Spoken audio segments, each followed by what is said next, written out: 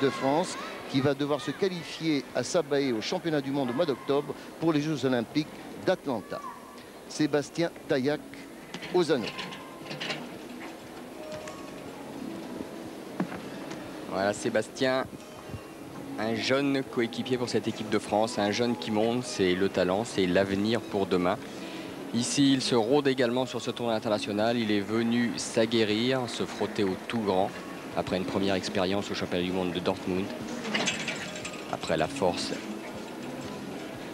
que l'on revoit encore ici, c'était un doublé sur une croix renversée. Bascule équerre. Équilibre en force, bras fléchis jusqu'à l'équilibre. La nécessité de stabiliser parfaitement les câbles. Et le double tendu pour terminer. Voilà, Sébastien nous a offert une belle prestation ici aux Anneaux, sans beaucoup de risques, mais c'est un très bon début.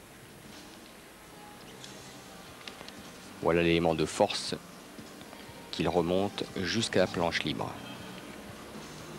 Et la croix renversée.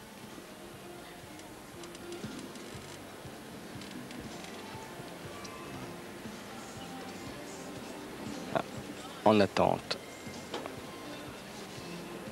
on revoit un passage au ralenti, bascule équerre.